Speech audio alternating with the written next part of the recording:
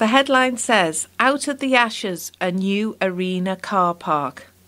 A temporary car park has opened at King's Dock nearly 12 months to the day since a huge blaze destroyed the Echo Arena car park.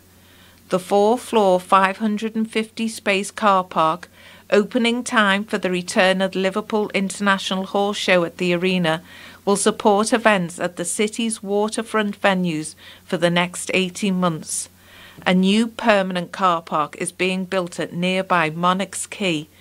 The new car park, over nine floors, will have space for 1,450 cars. Almost 1,200 vehicles were left inside the arena car park when the blaze took hold on New Year's Eve 2018, with more than a thousand said to be completely burnt out.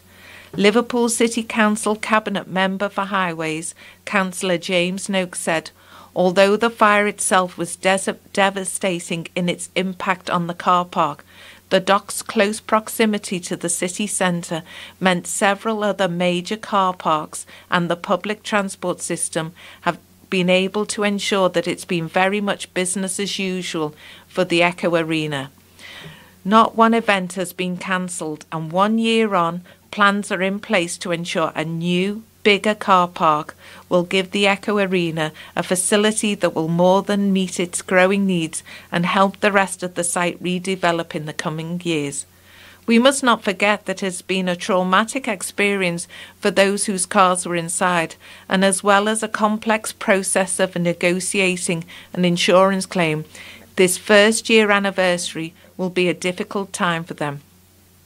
Merseyside Fire Service said temperatures during the blaze reached over a thousand degrees Celsius. Although no vehicles have been able to be salvaged, some were not burnt out, and these are being taken to secure compound for owners to retrieve any belongings. At the height of the blaze, 21 fire engines were on the scene. The new permanent car park will be built in front of the Exhibition Centre Liverpool by contractor Willmott Dixon, which recently built the Victoria Street car park. It will be fitted with CCTV, electric vehicle charging points, a sprinkler system, 50 motorcycle spaces, and 50 cycle spaces. Once demolished, the previous car park site will be levelled and made safe before being incorporated into a wider master plan for the King's Dock.